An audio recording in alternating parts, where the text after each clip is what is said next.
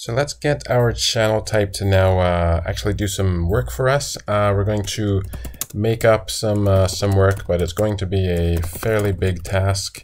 And uh, so that will be, uh, you know, the, the multiple threads will be useful here.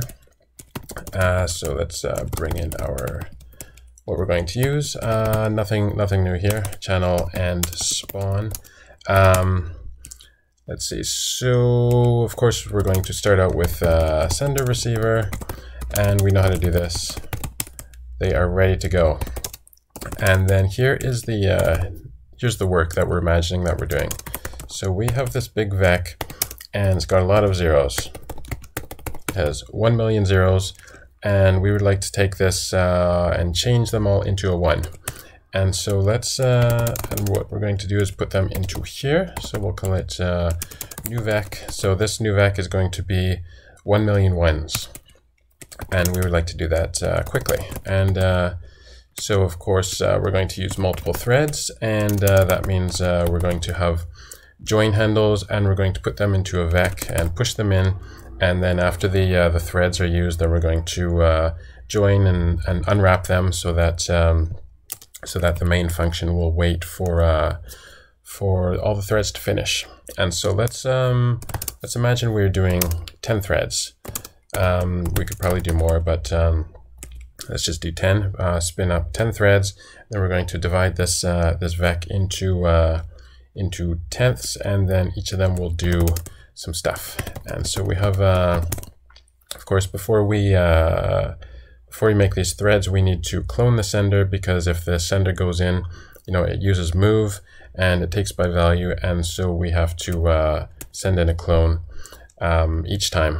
And so we're going to just, uh, you know, that's easy. Make it a sender.clone. Uh, and then so each of the 10 times, we're also going to have some work to do. So let's say work.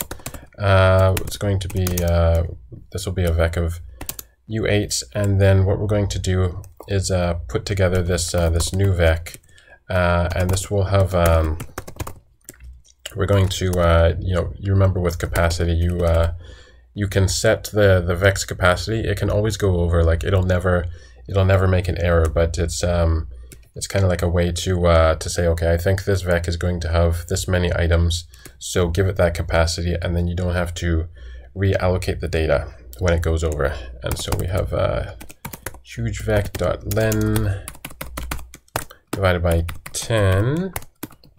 So this will be, you know, 100,000. So the length of this is 1 million divided by 10 is going to be 100,000. And then uh, we're going to use a method called um, extends to fill it up. And extend is um, it's a way to quickly uh, put a vec into uh, another vec. It's um, you just uh, you you you call uh you well you make it into a a slice and then you uh, and then you just uh, call extend on it and then it'll do it uh, really quickly. So what we do is uh, work extend and then we're going to uh, let's see where is it huge vec and we're going to uh, so take a slice of huge vec and this is going to be um, you know, from, from one index to another index. And so what we're going to do is use i. So i is going from 0 to 10. And so we would like to do this. So we're going to start, you know, we're starting at 0. So this uh, this will be 0. 0 times 100,000 is 0. And then we're going up to i plus 1 um, times uh, 100,000. So like the first time, you know, i will come in, i will be 0 and it'll go from zero to, uh, you know, zero plus one is one. So it'll go up to the 100,000th index. So it'll make, um, it'll fill this vec up with, uh, with uh, 100,000 zeros. And then uh, finally we have the, the work ready to, uh, to go. And so let's, uh, let's make a thread. And so we will, you know, give it a name handle so we can, so we can put it, put all the handles together and uh, and then inside here, of course, we will do the actual work.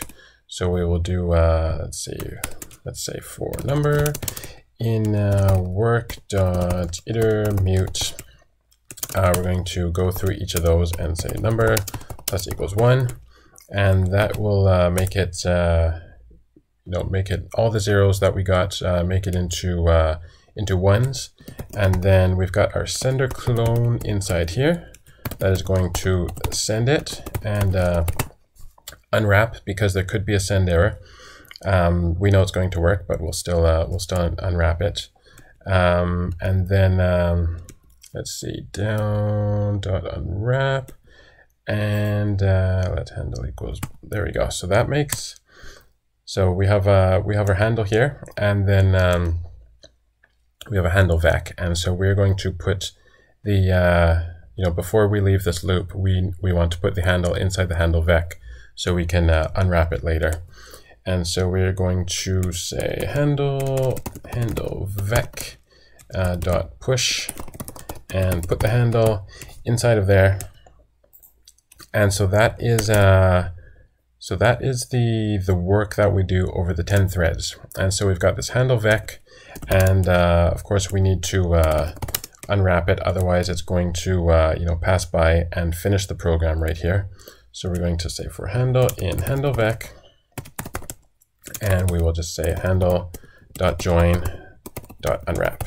So that'll say, you know, don't uh, don't finish the program yet. We're going to unwrap all of our threads, and that'll let the threads, you know, work on their own schedule, and uh, and and still, you know, not uh, not uh, you know be cancelled when the uh, when when we get to the end of the program. And then finally, so now the um, you can see sender has sent all this work, and now the receiver is full of uh, of this uh, of this work, and we would like to um, you know get the get the results. And we use this uh, this try receive uh, method before, so let's um, let's do a while let loop. Uh, so we're going to say results. So we're going to say receiver dot try receive. So this is you know as you know keep calling uh, try receive and as long as it's uh, as long as you get uh, a, an okay result, then take these results and we are going to put them into new vec, which is the original vec that we put together to try to put all this uh, all these new numbers in. So we're going to push the results in there. And then finally, there's um so now we have uh, new vec is a vec of vecs so there's 10 vecs inside of it because, you know, this itself is a vec. And we would like to flatten it. And there is a, uh, a cool method for that. And it's really easy. Um, and let's see, flatten method. And all this does is if you have, um, if you have like a vec, let's say you have like two vecs of, uh, of U8s and you've got a one, two over here, and you've got a one, two over here, and then you put them into a vec. So it's a vec, a vec of U8s. Then you call flatten, and then it'll take, uh, it'll remove the, uh, the, uh, the structure that they're inside and pull them out and flatten them together. So it'll become a single vec. So if you have, uh, I should probably type that out first. So imagine you have, you know, a vec of this. So let my vec equals vec. And uh, inside here you have a uh, you know, vec of that, and then you have a vec of that. Let's say four and uh, eight. So there you go. There is a, we're imagining there's a vec with uh, vecs inside it. And if you flatten it, then it'll remove that, it'll remove that, and it'll turn it into a single vec like that. So uh, that is what we're going to do, now. So we will, uh, let's see. And because we don't need new vec, uh, you know, we only care about new vec in the sense of a single vec. We're just going to shadow it and, uh, you know, call it new vec again because we don't, we don't care about the other one. We uh, don't need it. So we go into iter, flatten, and then collect it into a new vec. So a vec of U8s, like that. And uh, let's just see if this runs. And see, we haven't printed out anything yet. So, uh, you know, did it work? Well, we can, uh, we can do a little bit of looking at the vec because it's, you know, it's 1 million uh, numbers long, so we don't want to print out the whole thing. But what we can do is uh, we can do look at some slices of the vec. So we can, uh, so let's look at the, uh, the front and the end and also total length. So let's look at that. So what we will do is take, uh, let's see, new vec. So let's look at uh, you know, slice indexes 0 to 10. And let's also look, uh, see if uh, if the end of it is um, is working too.